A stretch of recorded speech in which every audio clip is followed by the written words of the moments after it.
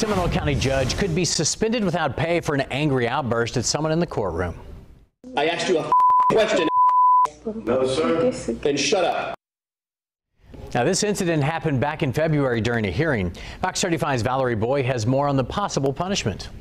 50 year old Kevin Newton walks into a Seminole County courtroom trying to find a seat. As Newton says something while court is in session, Judge Wayne Culver says, Hold on. Sir, I'm doing something. Can you shut up and sit down? Absolutely, I was trying to find a seat. That's not shutting up. No le dejo escuchar. You want to be held to contempt and go to jail? Voy a hacerlo. I asked you a question. No, sir. Then shut up. unacceptable.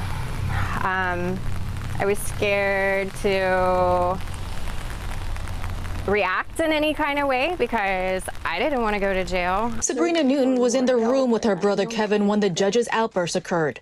Blue tape on the benches. We didn't know where to sit because COVID. This judge just let his personal feelings like take over. In this report, the Florida Judicial Qualification Commission recommended a 60 day suspension without pay.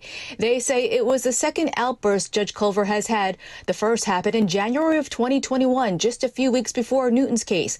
We asked attorney Mark O'Mara what he thought of the video. and they are sort of the you know they're the personalization of the criminal justice system uh, so i was very um, disheartened when i saw that There's a protective injunction on that video, but the report states a suspect was cursing in court. It says Judge Culver's decision to use sarcasm and mockery to communicate was inappropriate and a violation of the Code of Judicial Conduct. It states Judge Culver failed to provide due process in not signing a judgment of guilt, failing to advise a right to appeal, and unlawfully imposing three consecutive contempt sentences. i like him personally it's obviously he was frustrated and it was a bad day the problem with it is that judges like lawyers you know you have to be good even on a bad day The Florida Supreme Court will decide what penalty the judge could face. In Seminole County, Valerie Boey, Fox 35 News.